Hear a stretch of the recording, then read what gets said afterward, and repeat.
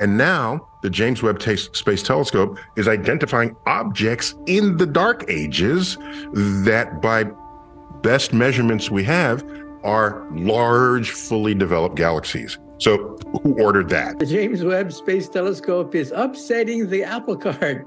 All of a sudden, we realize that we may have to rewrite all the textbooks about the beginning of the universe. Remember these galaxies discovered by James Webb? These are some of the most distant and ancient galaxies ever seen by humans. They are so far away that their light has taken more than 13 billion years to reach us.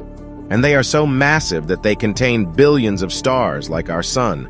But how did they form so quickly after the Big Bang? How did they grow so large in such a short time? These are some of the questions that puzzle scientists and astronomers who study the early universe.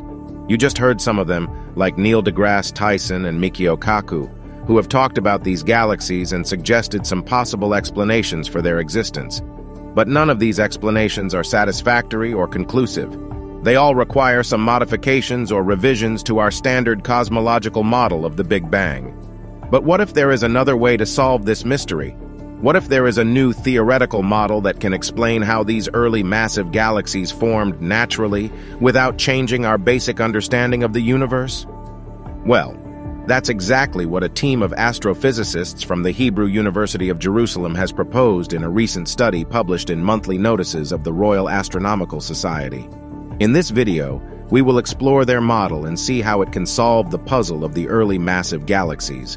But before we do that, we need to understand what exactly the problem is with these galaxies and why they defy our theories. So let's go back in time and see what the early universe looked like. So the way to think about this is, and this is the way science has worked since basically the year 1600, where Galileo sort of starts codifying what people knew probably should be happening, but no one really did it in large scale. If you have an idea about something, then you test it multiple ways and get other people to test it. And if the tests give you consistent results, you have a new understanding of the universe. When that happens, that knowledge of the universe doesn't go away, it doesn't get undone. What happens typically is you have a deeper understanding of the universe in which that understanding gets embedded. Mm. And you realize that you only understood a small part of a larger whole. But the small parts you did understand, where you had multiple experiments that confirmed it, that doesn't change. Imagine you are an astronomer or astrophysicist who has spent years studying the formation and evolution of galaxies. You have learned that galaxies are the building blocks of the universe and that they come in different shapes and sizes. You have learned that galaxies form from gas and dark matter that clump together under the influence of gravity. You have learned that galaxies grow by forming new stars and by merging with other galaxies. You have learned that galaxies change over time, becoming more complex and diverse as they age. You have learned all this from observing galaxies at different distances and times in the history of the universe. You have a model that explains how galaxies form and evolve, and you are confident that it works well. But one day, you receive a message from your colleagues who are working with the James Webb Space Telescope. They tell you that they have made a stunning discovery. They have found dozens of galaxies that are unlike anything you have ever seen before. These galaxies are so massive and bright that they dwarf any galaxy you have ever observed. These galaxies are so old that they existed when the universe was only a fraction of its current age. These galaxies are so unexpected that they challenge everything you thought you knew about galaxy formation and evolution. How do you react? How do you explain these galaxies? How do you reconcile them with your model?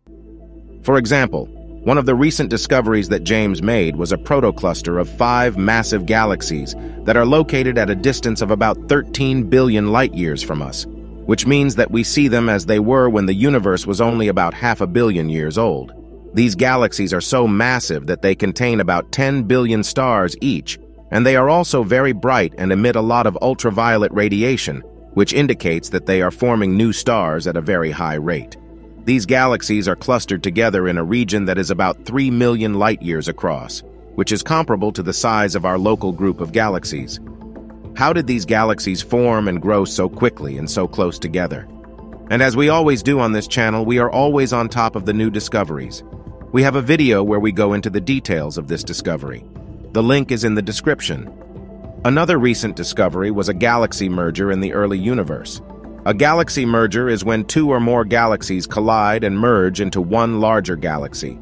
Galaxy mergers are common in the universe, and they can trigger bursts of star formation and shape the evolution of galaxies.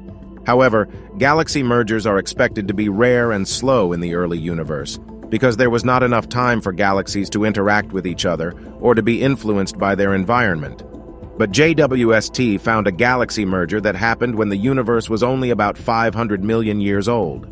This merger involved two massive galaxies that each contained about 10 billion stars, and it produced a huge amount of infrared light that indicates intense star formation.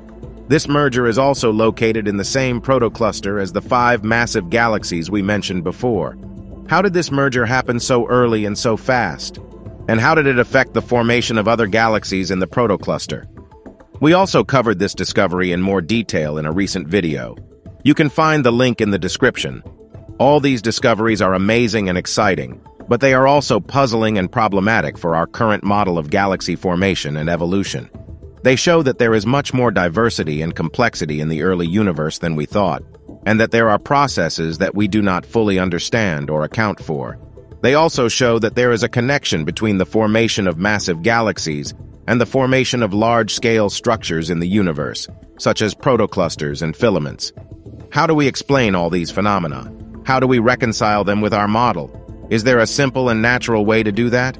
This is where the new study comes in. In the next section, we will explore this study and see how it proposes a new theoretical model that claims to solve the mystery of early massive galaxies in the universe. The study proposes a new theoretical model that solves the mystery of the formation of early massive galaxies in the universe. The model is based on the idea that the special conditions that prevailed in the primordial galaxies of high density and low abundance of heavy elements allowed the formation of stars with high efficiency without interference from other stars. The key to this idea is the concept of a starburst. A starburst is a short and intense episode of star formation that can produce millions of stars in a few million years. Starbursts can be triggered by various events, such as collisions or mergers of galaxies, or by instabilities in the gas. However, starbursts are usually self-limiting, because as stars form, they also produce feedback that shuts down further star formation. This feedback can be either from stellar winds or from supernovae. The new model suggests that in the early universe, there was a window of opportunity for starbursts to occur without feedback. This window was opened by two factors, low metallicity and high density. Metallicity is a measure of how much heavy elements, such as carbon, oxygen, and iron, are present in the gas. Heavy elements are produced by stars and supernovae, and they affect the cooling and heating of the gas. In the early universe, the metallicity was very low because there were not many stars or supernovae yet. This means that the gas could cool more efficiently and form stars more easily. Density is a measure of how much mass is packed in a given volume.